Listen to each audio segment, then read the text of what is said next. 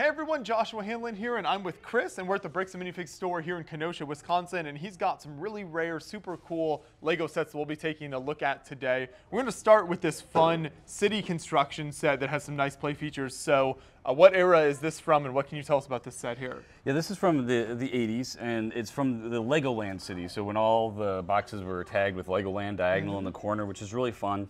Um, it's kind of a specific amount of city, so it's different from like the modern day city that, that we see. Uh, it's got the garage doors like we're used to seeing. It's got uh, you know the dump trucks, but it also has some nice features of this crane that's able to move along, and it can rise and you can you know lower it and raise it, and it's actually spring loaded, so you can actually use it to grab bricks and, and dump them out. It's it's a lot of fun from a play perspective, and these gray pieces they simply don't make this anymore. They don't. They, this track isn't available, so it's. Uh, it's unique. It's fun. Um, we love seeing the the 80s style things come in. And we have a few collectors who specifically look for the Legoland branded ones, and uh, uh, they come in and uh, you know often often snatch them up because you know they don't come around very often. I think what you see with this type of a set in this era for sure is very much kind of giving just like the base to run wild with your imagination. When you look at this, there aren't a lot of pieces here. You've got almost just the outlines of some structures and things. Yeah, absolutely. So I think the idea is that they would come and it's a construction site and it's up to the child who had the mm-hmm. set to continue on, like to build the rest of the building here or to add on to it. Like it's it's meant to be the catalyst of play, not the entire play itself. And these really cool printed base plates as well, which are always neat to see those different designs and kind of the way you can mix and match some of those. Yeah, and it's amazing how many different variations there are because there's some that are very close, and as you like start looking through the history of them, you're like, well, this one's slightly different than this one, and you realize there's just so many variations. Next down the line, we stay somewhat in the city type idea with a train model, a very special train model here. So this is the Santa Fe Super Chief. What year is this from? Uh, I actually forget the year. It's gonna be in the it's gonna be in the early 2000s. Okay, So, early like, 2000s. Yeah. Now, a Um, lot of people might be looking at this and being like, why are there so many train cars laid out here? So what is the story behind that? What do each of these represent? Yeah, so the the first model that came out was, of course, the the engine itself, uh, the Super Chief, which is kind of an iconic uh, train engine with that livery from uh, down in the Southwest. Okay. And uh, from there, there were additional models made, but it was actually just two different sets. There was uh, one set that you could create two different cars from. You had to choose which one, and you buy two sets to make both. And then another set that you could make three different cars from. So you get a whole arrangement of different types of cars that would be pulled by the Super Chief. So it's very historically accurate, but it was missing a few things. And so there are two custom cars in this set. One of them being the uh, the B unit here. So B units uh, were specifically about adding extra strength to the to the engine without needing the whole cab and, and that kind of thing. So it was just really just another engine that was put on, but no cab or anything for, Yeah. for an engineer to drive. And then you have a custom observation car. This is a very popular car to build uh, to go along with this because the observation car was something that was pulled by by this, uh, the Super Chief, um, but just there was never an official set for it. So we're fortunate enough to have one copy of every one of the five official models, plus the engine, and then the two well-known custom cars that go with it. And what sorts of play features are there here? Can you kind of take the roofs off and look inside? How does that work? You can. So the the roofs come off. You can put minifigs on the inside, so you can you know stack it up with with people. And you know uh, it was designed in the old nine volt train days, and so there's an actual uh, instructions to put a nine volt motor on it, run that around. I've seen people modify it into power functions.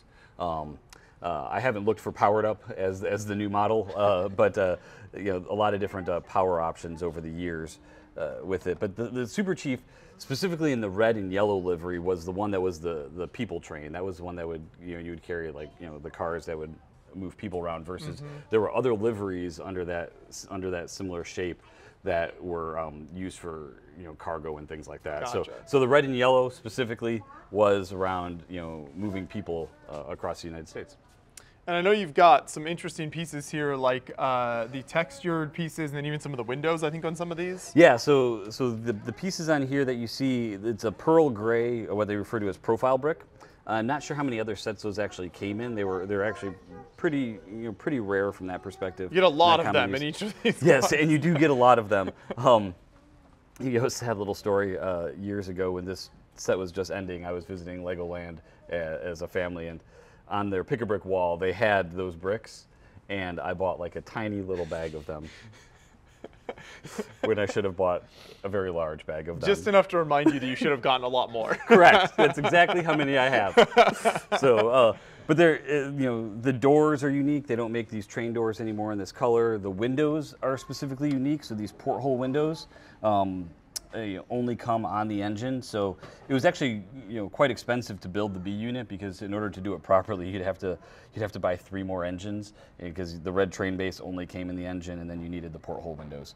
So uh, those windows, you know, on the aftermarket started going for a lot of money because people would be, you know, wanting them to be able to build the B unit. Now, just as a as a Lego fan yourself, where would you kind of rate this in sort of the pantheon of Lego trains over the years? I know that's always a big debate with the different sets they've released. Would you consider this to be kind of one of the better train models they made, or where, where does this stand? I, I in your do. I. I consider this near the top of, Okay. of their train models. Um, you know, yeah, the Metroliner is up there for a lot of people. They love that one. Um, uh, the the BNSF, the the dark green one, is is also very popular. But because this one has all the cars that go with it and all Mm-hmm. the different types of cars, from a complete set perspective, I really feel like this is kind of like at the top. For me personally, this is this is at the top. So. Fantastic.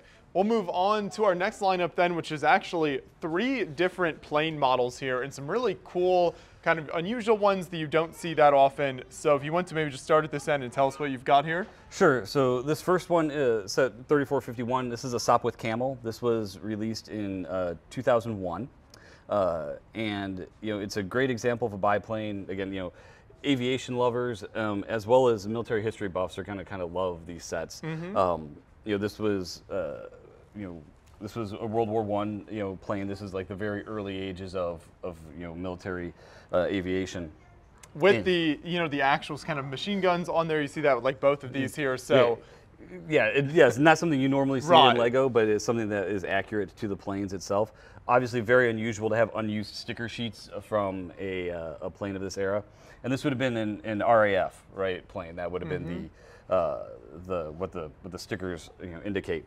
Um, what's interesting about the Sopwith Camel specifically is the the generally accepted story of shooting down the ace of aces of all time, the Red Baron, which we see in the next model here, um, was uh, Captain Roy Brown from the RAF, who would have been flying a Sopwith Camel uh, when shooting down. Now, there's some controversy now about whether it was actually Roy Brown that, that shot him down, or if it was you know anti-aircraft guns on the, on the ground that, that did so. Uh, history will figure that out, and there's only so much we can do. But the, the general story was that he was shot down eventually by a Sopwith Camel. Again, the Red Baron. This is from 2002, and amazingly, a, a you know a perfect unused sticker sheet. Not something we see very often. Right. Uh, you know from this era. And you know, we move you know in release order by Lego. So you've got the Sopwith Camel 2001, the Red Baron in 2002. We move to the Wright Flyer, um, you know, in, in 2003. Yeah, obviously, the first, uh, what's regarded as the first you know airplane, the first flight. You know, history again tells us that there's some controversy. There may have been an earlier flight, you know, over in Europe and, and that sort of thing. So again, history has to figure out how all that's going to play out. But the Wright Flyer, uh, you know, amazingly accurate. You know, even some of the flaws of Lego allow it to look sort of what like it would with the, the wings kind of bowed down a little bit. Um, uh, a rather complicated build actually uh, for its era, just because of the way that you have to build the wings and then snap them together. It, it's a, uh, it's very interesting. Great display model though. This is one that I think looks phenomenal. It's very very large. It's much larger than you know the Sopwith Camel or the Red Baron, um, and it does actually spin. So like like the whole. I was wondering about that. So there is some actual play features and kind of functionality. Yeah, which is which is really cool. Um, you know, getting everything lined up is a little bit of a challenge. You know, kind of all the instructions from this era provided you know their own unique challenges as far as you know being able to see things. There's there's actually a spot in the instructions where they tell you to put a piece on, but they don't show you like which studs it connects to because it's blocked by like another part of the build. So you're like, I'm gonna guess and hope that it goes in the right spot. Um, but yeah, it's uh, it was it was fun to. We had to kind of rebuild part of it from you know a used buy that we got in. So um, that was fun to do. Frustrating at a couple points, but uh, you know a, a- overall just a great model. And you know I love these three planes together just because they show such a uh, you know a great perspective of early aviation history. Um, you know, and going from you know we can barely fly and we're off the ground for a few seconds to you know, the use of them is, you know, military vehicles in war and who was gaining the advantage and, and uh, you know, the, the challenges that have come from there. So, uh, again, not the kind of sets I, I think we'll see made, you know, in, in today's day and age, uh, but phenomenal to have. Um, I, these are two of my personal favorite sets that have in the store. I think they display well. Uh, I love the history behind them. Uh, they're uh, they're just phenomenal looking sets. I think they're very visually striking as well. Whether it's the all red of here, the, the red baron here, like you said, just kind of the size uh, of the the Wright Flyer over here. I think just great great visual models too. Yeah, yeah, absolutely. They they are they're just fun. Like like when, when you think about Lego and think about being fun, these are models that I think of as just being they're just fun. They're fun to look at. They're fun to hold. They're they're Mm-hmm. you know they're mostly swooshable. Got to be a little gentle with the Wright Flyer. um, so they're just they're just fun, and that's what Lego's all about. And then to finish out our lineup today, we go to Castle, and of course we've got some of the very early days here with some of the original sets. So what are these two sets here? So yeah, so of course, uh, you know, we'll go with the, the very first castle, you know, set 375. Um, this is the U.S. version of it, so 6075, the yellow castle. Uh, you know, it's marked as 1980. It was originally sold 1981 in the U.S., 1978 over in Europe. So this is you know back when releases weren't global, right? They they they had separate time frames. Um, early early days of castle right? This is the first castle set. The all of the chest plates are stickered. All of the shields are stickered. Nothing is printed on this one. Uh, it makes it a little bit of a challenge to you know, have all the right pieces. Um, the knights with these uh, with these face shields that fall off which is great um, But you your minifigs here are in great shape, which I noticed that looking at these earlier, uh, because like you said, with the stickers and things, it tends to tends to get very damaged over time. Yeah, and that was that was part of the challenge. We were missing a couple pieces for it uh, when we got it in used, and so I had to, to search uh, search around and find those few missing pieces. Finding them in good shape is difficult. Um, they are out there, but uh, it, you know fewer and farther between as time goes on. Um, you know, I, I the Yellow Castle is just iconic, right? It, it is. It's kind of the holy grail for a lot of Castle uh, fans. This is this is what they want, the very first one. Um, we're excited to have it with the box. Box not in the best shape, but it's also you know 40 some years old, so uh, a few extra pieces that we had along with it. Um, it's I, I think it's fun. You know, you don't see the box uh, you know as often anymore as you used to. Instructions are in pretty good shape.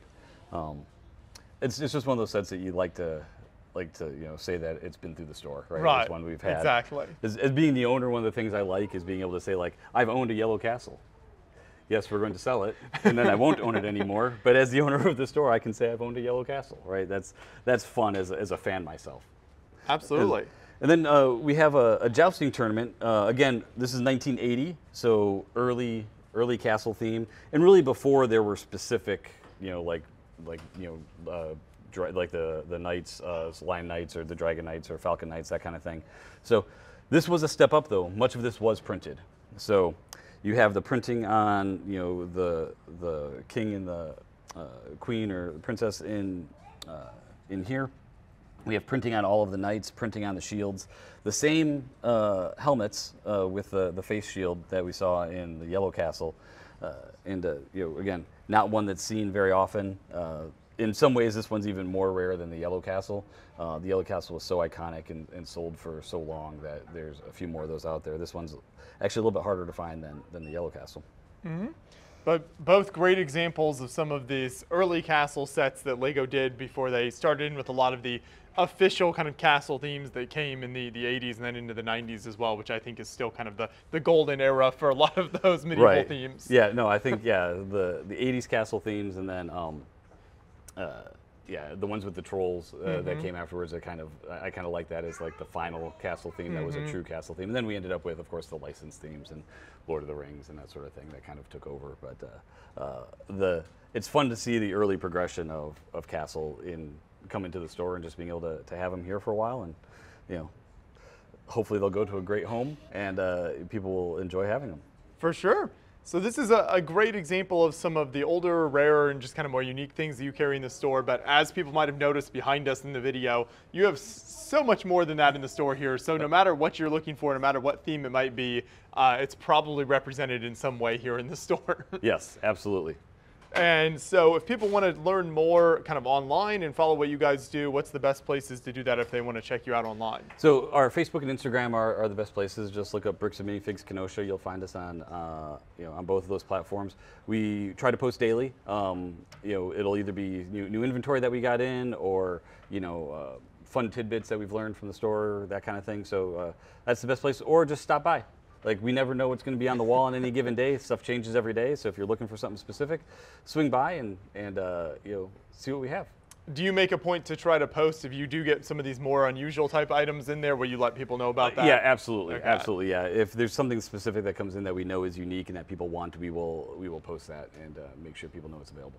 That's great. Well, we'll have links in the description to uh, the website and social media where people can check all that out. So make sure you check them out online, but definitely, like you said, come into the store because that's the best experience you can have. Check out all of the amazing uh, Lego offerings that they have here. And you can mention you saw them on Beyond the Brick and meet some of the great employees here as well. Thank you so much for your time today. I appreciate it. Thanks for coming, guys. Good to see you.